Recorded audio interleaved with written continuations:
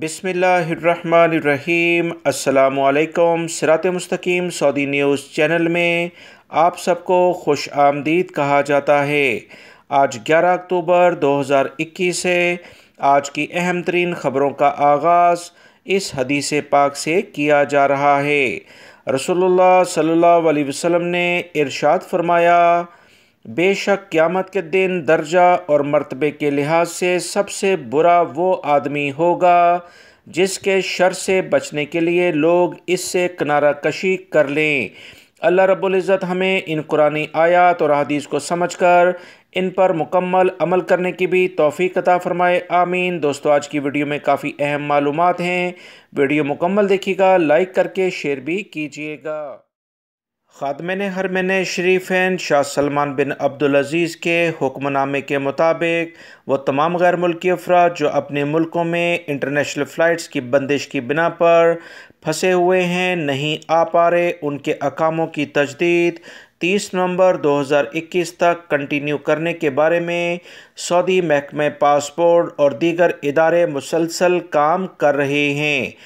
बहुत सारे पाकिस्तानी और इंडियन भाइयों ने ये सवाल किए कि 31 जुलाई के बाद से इनके अकामों की तजदीद नहीं हो पाई और वो काफ़ी ज़्यादा मुश्किल का शिकार हैं, क्योंकि वो वाया करते हुए दूसरे मुल्कों से आना चाहते हैं। इनके अकामे सऊदी अरब की हुकूमत कब फ्री में तजदीद करेगी, वो काफ़ी ज़्यादा परेशानी का शिकार हैं।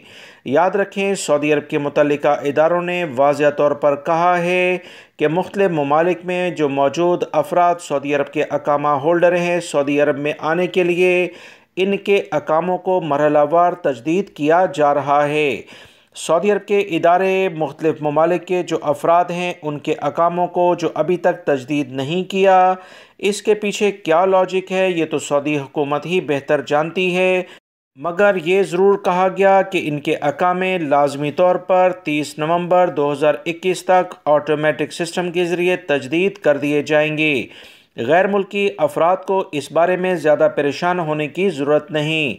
दोस्तों, पिछले दिनों जो कुछ इतलात आई थी कि वो ममालिक जहाँ इंटरनेशनल फ़्लाइट्स खुलने के बारे में काफ़ी ज़्यादा उम्मीद पैदा होती है कि वहाँ के हालात बेहतर हैं इन ममालिक के अफराद के अकामे और छुट्टी के वीज़े पहली फ़ुर्सत में तजदीद किए जाते हैं ताकि इंटरनेशनल फ़्लाइट्स जैसे ही खुलें, वहाँ से अफराद सऊदी अरब आना शुरू हो जाएँ।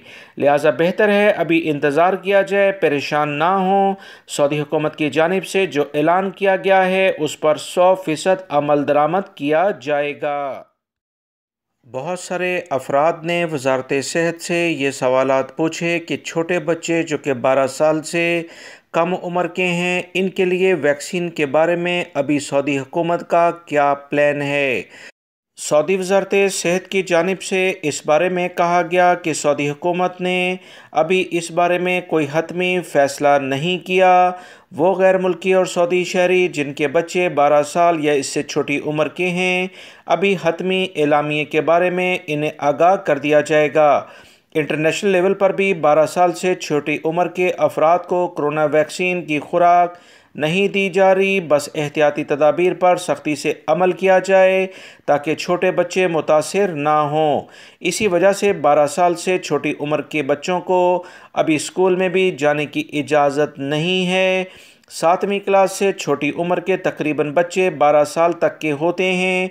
इनकी क्लासेस अभी भी सऊदी अरब और दुनिया के दीगर ममालिक में ऑनलाइन चल रही हैं।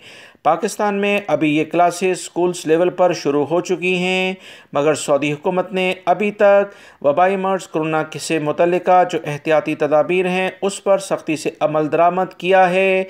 इसी वजह से सऊदी अरब में हालात काफ़ी मामूल की जानब आते जा रहे हैं। रियाद पुलिस ने मोबाइल सिम का गैर कानूनी कारोबार करने वाले सात बांग्लादेशी अफराद को गिरफ़्तार किया है। इन अफराद के पास से मुख्तलिफ़ कंपनियों की एक हज़ार चार सौ इकसठ मोबाइल सिमें पकड़ी गई हैं। गिरफ़्तार शुदगान मुख्तलिफ़ दुकानों में गैर कानूनी कारोबार कर रहे थे। इनके पास फिंगरप्रिंट, रीडर और नकदी भी पकड़ी गई है। इन अफराद ने सऊदी शहरीों और मुकीम गैर मुल्कियों के नाम पर सिमें निकलवाई थीं। किन कंपनियों से इन्होंने सिमें निकलवाई, इन कंपनियों में कौन लोग मुलविस थे, इस बारे में भी पूरी तहकीकात की जा रही हैं। मुकम्मल केस तैयार करके सऊदी पब्लिक प्रोसिक्यूशन के हवाले किया गया। ऐसे अफराद जो इस तरह से गैर कानूनी कारोबार में मुलविस पाए जाते हैं, सज़ा जुर्माने के बाद डिपोर्ट होते हैं। रियाद में सिक्योरिटी इदारों ने पब्लिक मकाम पर दस अफराद के इज्तमाही झगड़े में मुलविस होने पर इन्हें गिरफ़्तार कर लिया है। पुलिस तर्जमान ने बताया कि झगड़े में मुलविस दस अफराद में से सात सऊदी शहरी हैं, जबकि दो शामी और एक मराकशी शहरी शामिल है। सऊदी अरब के सिक्योरिटी इदारों ने ऐसे अफराद के ख़िलाफ़ भरपूर कार्रवाइयाँ पिछले दिनों भी की थीं, जो अक्सर पब्लिक मकाम पर लड़ाई झगड़ा करते नज़र आते हैं। सऊदी सिक्योरिटी इदारों ने तमाम अफराद को ख़बरदार किया कि कवानीन का एहतराम ना करने वालों के ख़िलाफ़ सख्ती से निपटा जाएगा। पिछले दिनों भी बहुत सारे पाकिस्तानी, इंडियन, बंगाली और दीगर मुल्कों के अफराद के इज्तमाही झगड़ों की वीडियो सोशल मीडिया पर वायरल हुई। इसमें से अक्सरियत गैर मुल्की अफराद अपने मुल्कों में डिपोर्ट किए जा चुके हैं। याद रखें, सऊदी अरब में कवानीन बहुत सख्त हैं। वो गैर मुल्की अफराद जो इस तरह से इज्तमाही लेवल पर लड़ाई झगड़ा करते हैं, सज़ा और जुर्माने भी इन्हें कड़े किए जाते हैं और उसके बाद सौ फ़ीसद डिपोर्ट किया जाता है। रियाद में सिक्योरिटी इदारों ने पब्लिक मकाम पर दस अफराद के इज्तमाही झगड़े में मुलविस होने पर इन्हें गिरफ़्तार कर लिया है। सऊदी अरब में सिक्योरिटी इदारे ऐसे अफराद के ख़िलाफ़ भरपूर कार्रवाइयाँ कर रहे हैं जो सऊदी अरब में गैर मीरी अशिया ज़ख़ीरा करके इन्हें लोगों में तकसीम करते हैं। जायदुलमयात गोश्त, सब्ज़ियाँ, फल और दीगर गाड़ियों के जाली पुर्जे मुख्तफ जगहों से पकड़े गए सऊदी अरब के तफ्तीशी इदारे मुख्तलिफ़ वजारतों के साथ मिलकर भरपूर कार्रवाइयाँ सऊदी अरब में शुरू कर चुके हैं। सऊदी अरब में बल्दिया का इदारा बहुत एक्टिव है। मक्तुलमकरमा के मुख्तलिफ़ इलाके जिनमें अलनकास अल खालदिया शार मंसूर और दीगर इलाके शामिल हैं। इन इलाकों में जायदुलमियाद गोश्त, चार टन से ज़्यादा सब्ज़ियाँ और फल इस हालत में पकड़े कि उनकी हालत काफ़ी ज़्यादा ख़राब थी।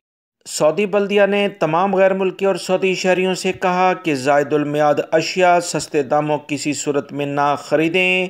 यह आपकी सेहत को बहुत मुतासर करते हैं। ऐसे अफराद जो कि इस तरह का कोई कारोबार करें 940 यानी नाइन फोर ज़ीरो पर इतला देकर बल्दिया की मदद की जाए, ताकि ऐसे अफराद के ख़िलाफ़ भरपूर वक्त पर कार्रवाई कर दी जाए।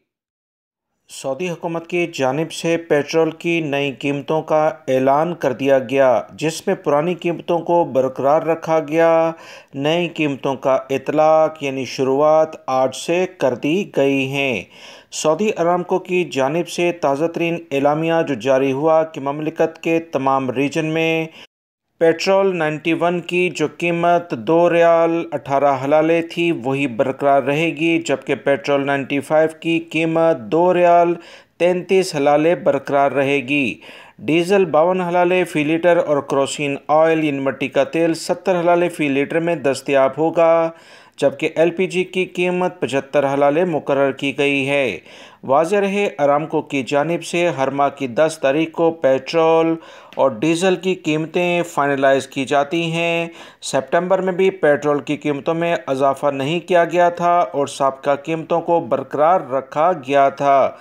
सऊदी अरब के तमाम इलाकों में तमाम पेट्रोल स्टेशन पर यही कीमतें बरकरार हैं। सऊदी अरब की हुकूमत ने कहा कि किसी जगह पर भी अगर रद्दबदल देखा जाए तो फ़ौर हमें कंप्लेन की जाए।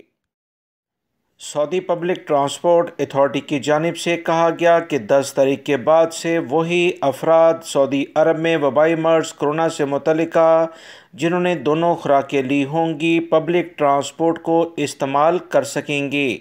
तवक्लना पर इनका स्टेटस इम्यून लाजमी होना चाहिए। दस तारीख से सऊदी अरब में कवानीन में बहुत ज़्यादा तब्दीली कर दी गई है।